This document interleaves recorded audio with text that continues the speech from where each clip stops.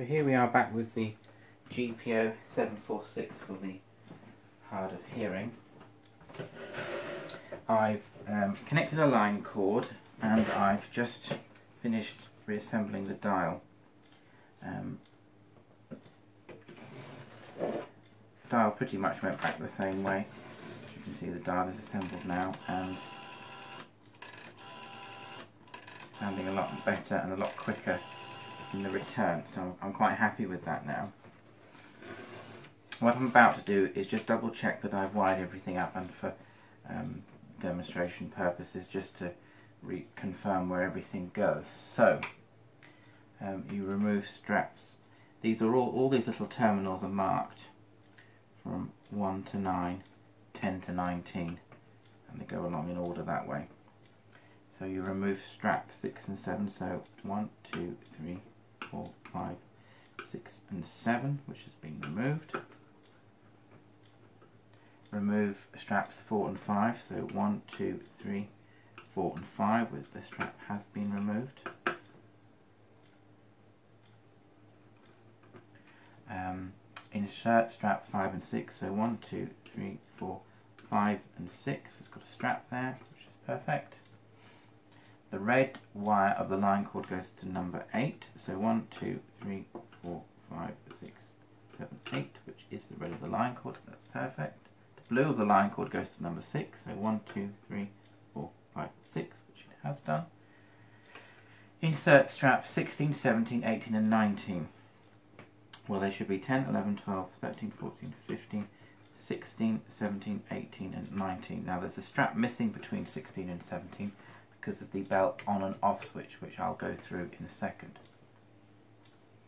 So white wire of line cord goes to 18, so 19, 18 is the white wire, so that's perfect. The green wire is 15, so 10, 11, 12, 13, 14, 15, which it is and then we need to insert a 3k resistor between terminals 4 and 5 so 1 2 3 so it's between 4 and 5 so I will just grab a resistor.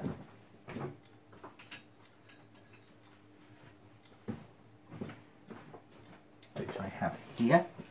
So basically we want to wrap this around the terminals 4 and 5.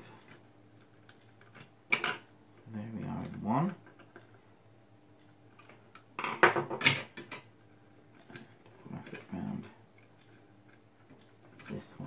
Quite fiddly to get your hands in these. But... So there we are. And insert a rectifier between terminals 1 and 2. Well, as you can see, there's a rectifier being inserted there already. So, now we need to look at the bell on off switch. So it says remove straps 16 and 17, which I have done, leaving straps 17, 18 and 19 in place with the white of the line cord, which we've got. Connect the brown wire, which is this brown wire here, from the switch, to terminal 16, so 19, 18, 17, 16, which it is and then connect the grey and the blue wires, which are these two, together um, to terminal 17, which is the one up, 19, 18, 17, which they are. So hopefully we will now wire this for the bell on and off switch and for the modern socket. So what I'm going to do now is put this to one side and we're going to concentrate on this handset cord an extra strap here. Another way. So what I'm going to do now is I'm just going to heat this up with my heat gun. I've wrapped it firmly around this steel sort of peg. It's quite a thick peg. Um, and the idea now being is that once I heat this up, it'll sort of keep its springiness and, and reform back.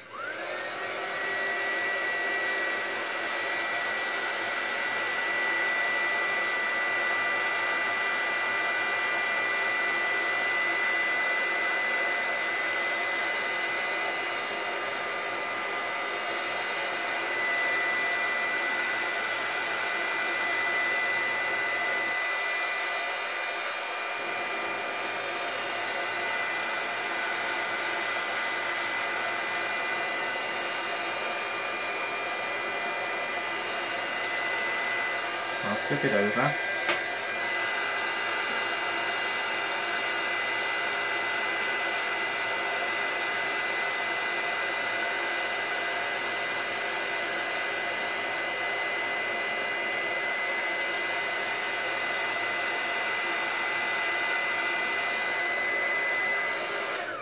Right, that's got that nice and hot now, so we'll just leave that to cool to one side.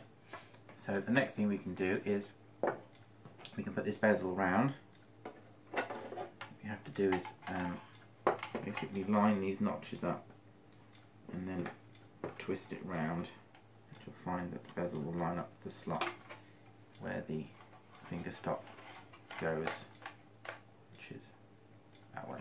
So when I drop that down now, it'll be where the, the finger the finger rest is there. It's getting nice and cool now. The first thing we can wire up now, back wire up again, is the receiver or the speaker. So again, you just slide these underneath the underneath the washers.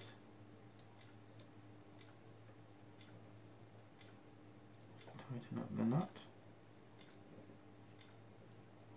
You have to make sure these all these connections are fairly tight because it will um, save you problems with anything if anything happens to be crackling. Normally when these phones tend to crackle it's because there's a, sort of a intermittent connection somewhere so to make sure these things are fairly tight but not, not, not too tight, overly tight, just fairly firm. It's just avoiding any crackles.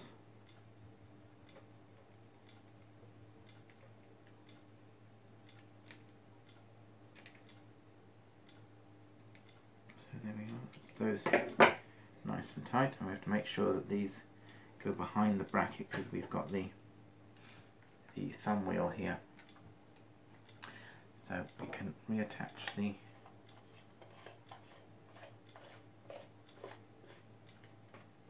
cap for the earpiece. Now this wire is nice and cool so we can unthread this. hopefully the cord has gone a bit more. Yes, I think that's gone pretty nice now. It's got all its springiness back. It's amazing how well that trick works, really. I'm always impressed with how well they can come back springy again. So this is a sort of a, a, a twist and fit system. So you sort of thread all the wires through the little aperture here. And then you sort of feed it through. And then with the pliers you twist. Just to get it in the opposite opposite position of where it should be. It means that it's firmly securely in place.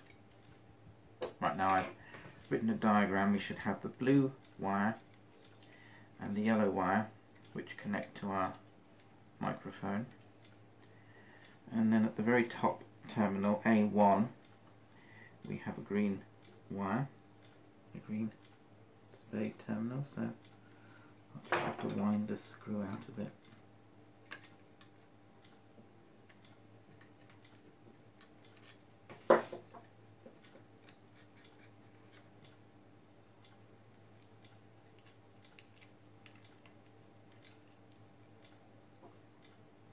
So it's the green wire. This can be rather fiddly, which is why you can, my pliers are helpful to hold the things into place.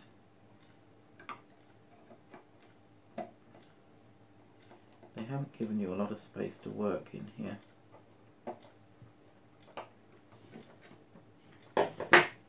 Again, you want to make sure these are fairly firm because it will eliminate any crackling that may be going on later. That's followed by the red wire.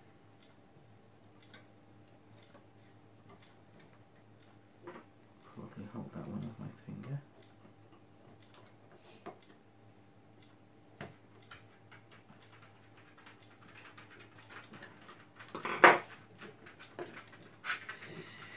Which is then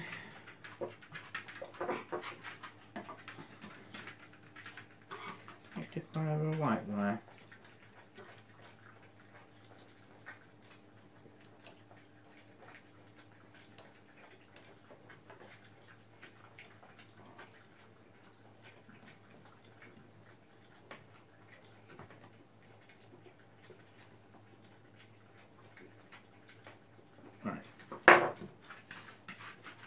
So now what we need to do connect our new electronic microphone.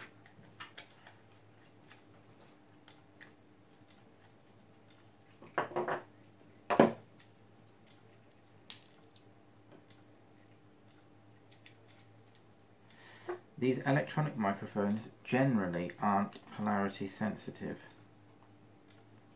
so it shouldn't matter what way we connect this.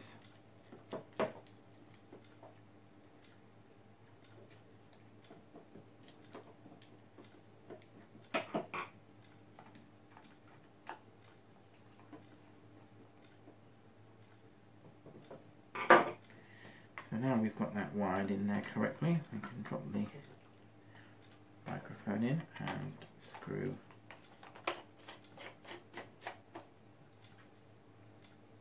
firmly in place. It's now starting to look like a phone again, isn't it? Now then, we install the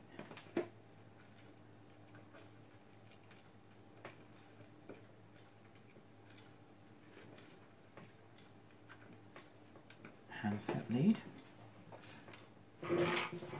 Fresh where they go.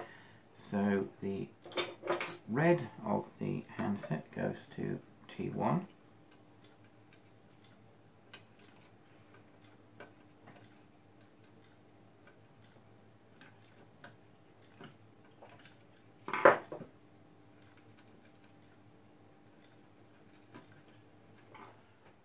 If I can get it in.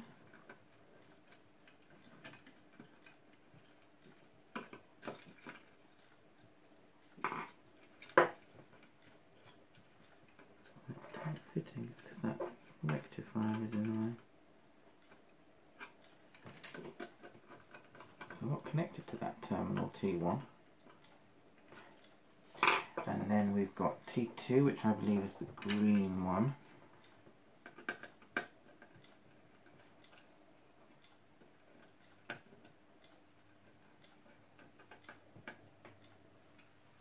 And then T3 which is the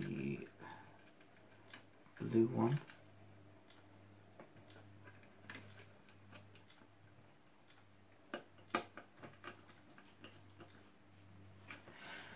And then the white one, which I believe is T10, which goes here, this pink cable.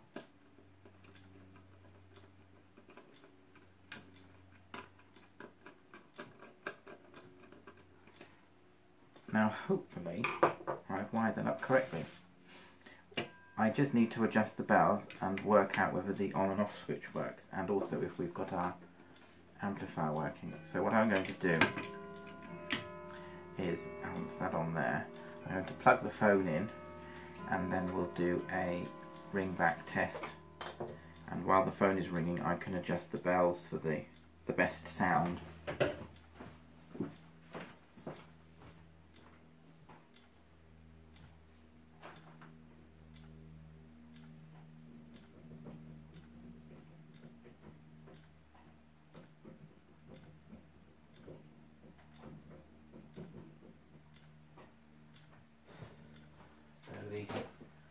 phone is now in, so let's try the,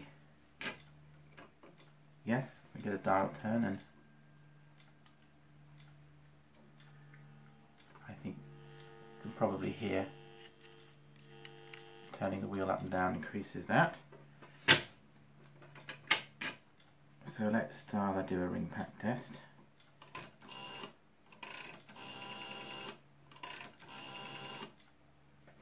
now when I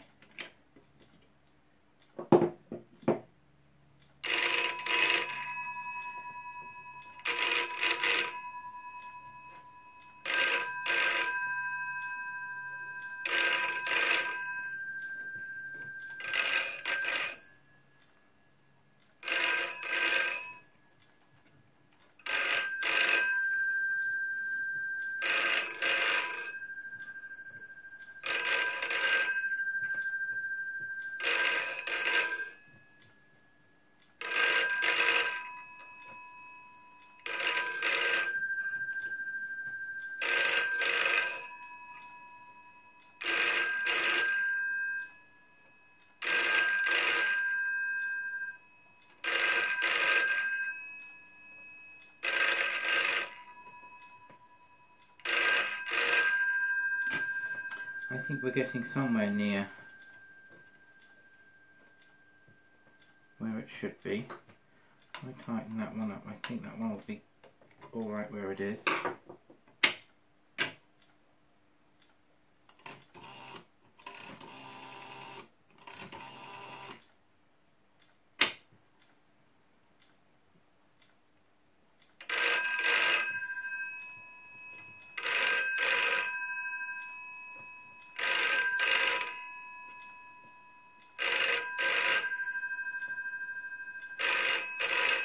There we are, that's where it should be.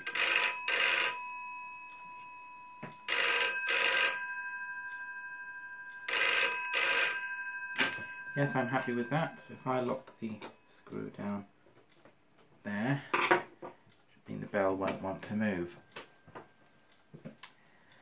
Let's just do a time check. And try the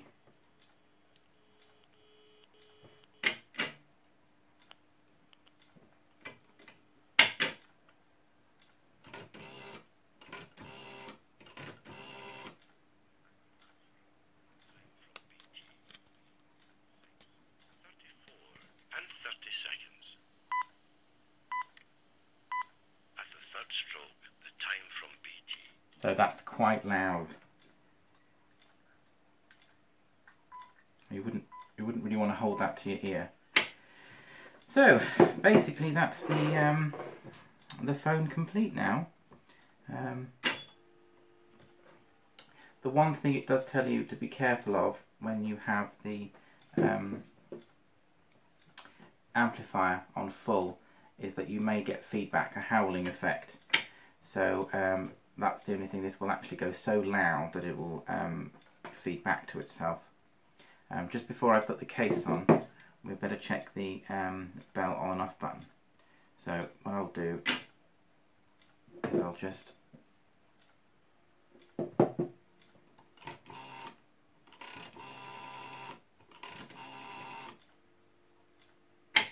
when the bell is ringing we will put the switch down so we now we should be able to mute the bell. And as you can see it does actually turn the bell off.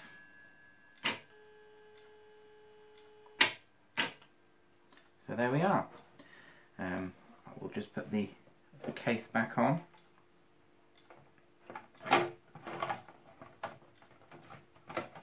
Again these can be quite